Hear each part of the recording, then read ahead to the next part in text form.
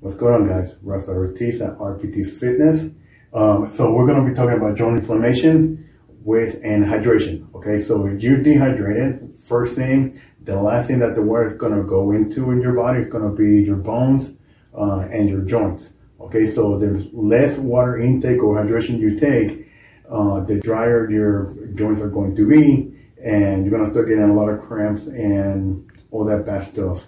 And it's also going to cause a little bit of stress and it's going to cause your body to get kind of inflamed and give you those uh, pain discomfort. So the more water you drink, uh, one, you get it, you hydrate your muscles, you start hydrating your uh, your bones and also your um, your joints.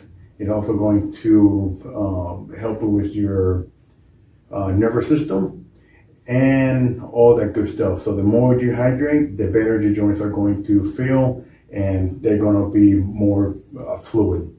All right, guys, that's it for today.